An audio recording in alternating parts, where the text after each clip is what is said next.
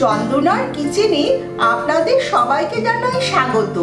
আমার রান্নাঘরে আপনারা পেয়ে যাবেন নতুন নতুন রেসিপি যেগুলো খুব কম উপকরণে, খুব কম সময়ে করা যায়। শুধু ইউটিউবে গিয়ে লিখুন চন্দনার কিচেন। আজও আমি এসেছি এরকমই একটা রেসিপি নিয়ে। তাহলে চলুন দেখে নেওয়া যাক আজ আমি আপনাদের জন্য কি রেসিপি নিয়ে এসেছি। আজ আমি আপনাদের সঙ্গে সম্পূর্ণ ভিন্ন স্বাদের একটা বাঁধাকপির রেসিপি শেয়ার করব।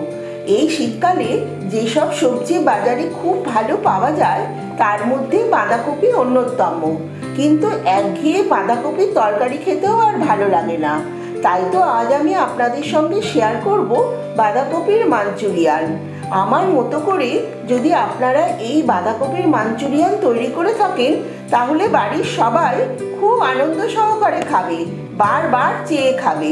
তাহলে চলুন বন্ধুরা, দেখে নেওয়া যাক, আজ আমি বাঁধাকপির মাঞ্চুরিয়ান কীভাবে বানাবো। বাঁধাকপির মাঞ্চুরিয়ান করার জন্য আমি এখানে একটা ছোট সাইজের বাঁধাকপি ছোট ছোট করে কেটে রেখেছি। এবার এর মধ্যে হাফ স্পুন নুন দিলাম। ভালো করে বাঁধাকপির সঙ্গে মিশিয়ে দিলাম।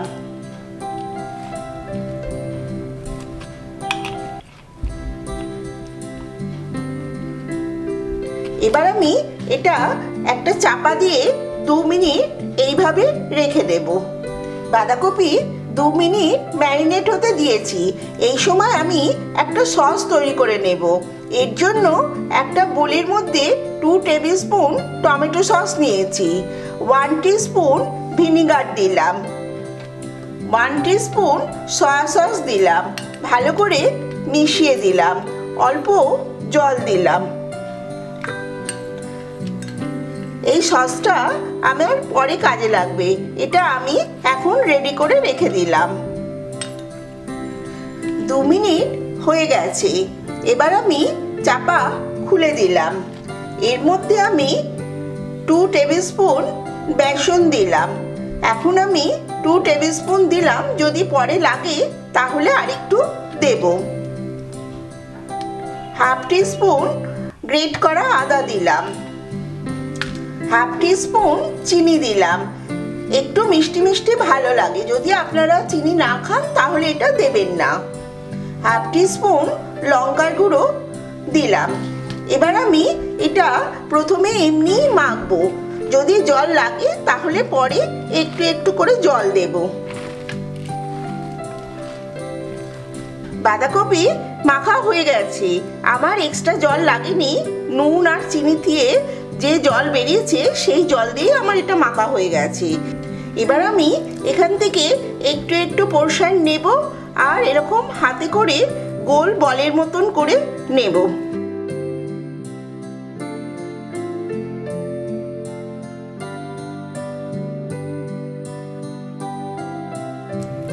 এইভাবে আমি সবকটাই করে নেব।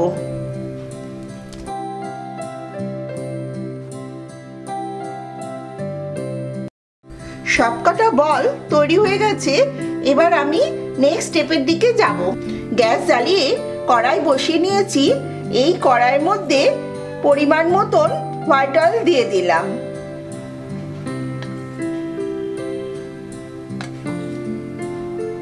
তেল গরম হয়ে গেছে, এই তেলের মধ্যে যে বাঁধাকপির বল বা কোপ্তার মতন তৈরি করে রেখেছিলাম, সেগুলো দিয়ে দিলাম।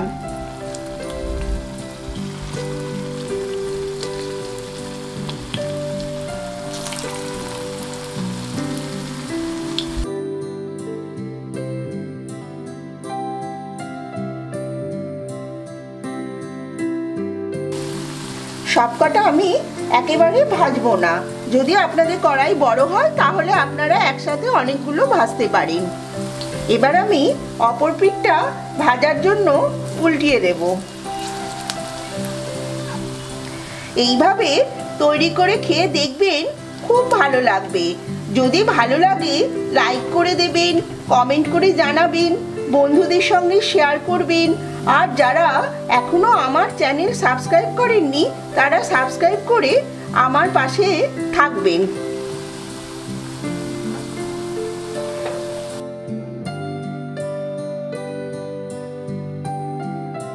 দুই দিক লাল করে ভাজা হয়ে গেছে। এবার আমি একটা প্লেটে তুলে নেব।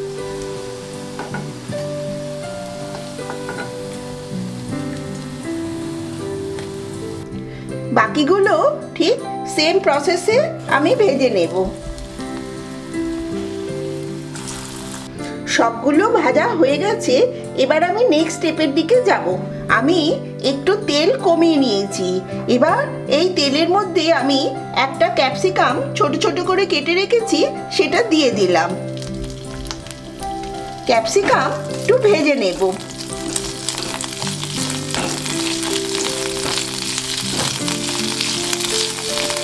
ক্যাপসিকাম ভাজার সময় আমি হাফ স্পুন নুন দিয়ে দিলাম।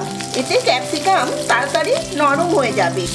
নুন একটু কমই দিলাম, কারণ যে সসগুলো আমি দেব, তার মধ্যে একটু নুন আছে। ক্যাপসিকাম ভাজা হয়ে গেছে। এবার এর মধ্যে হাফ স্পুন গ্রেট করা আদা দিয়ে দিলাম। হাফ স্পুন গোলমরিচের গুঁড়ো দিয়ে দিলাম। কয়েকটা কাঁচা লঙ্কা ছোট করে কেটে রেখেছি, দিয়ে দিলাম। আর হাফ স্পুন কাশ্মীরি লঙ্কার গুঁড়ো দিয়ে দিলাম। এটা অপশনাল, এটা কালারটা খুব ভালো আনে। যদি আপনারা না দিতে চান, তাহলে এটা দেবেন না। আর হাফ স্পুন চিনি দিয়ে দিলাম। একটু টক মিষ্টি খেতে ভালো লাগে। এবার ভালো করে একটু সব মশলার সঙ্গে ক্যাপসিকাম ভেজে নিলাম।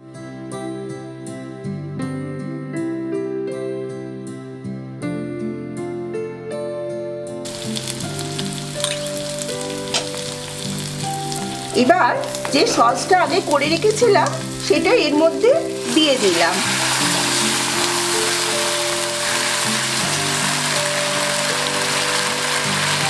এবার এর মধ্যে ওয়ান স্পুন কর্নফ্লাওয়ার জলে গুলে রেখেছি, সেটা দিয়ে দিলাম। ভালো করে মিশিয়ে দিলাম। এবার আমি এর মধ্যে যে বাঁধাকপির বল ভেজে রেখেছিলাম, সেগুলো দিয়ে দেবো। ভালো করে মিশিয়ে দেব।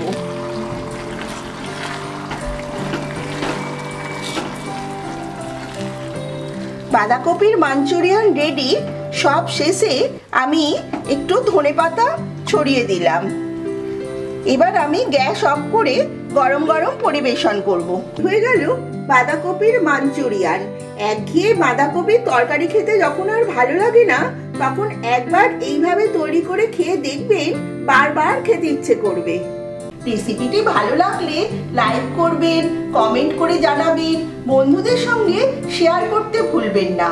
আমার চ্যানেলের নতুন বন্ধু হলে সাবস্ক্রাইব করার অনুরোধ রইল। নতুন নতুন ভিডিও পাওয়ার জন্য পাশে থাকা বেল আইকন প্রেস করে দেবেন। সবাই ভালো থাকবেন, সুস্থ থাকবেন।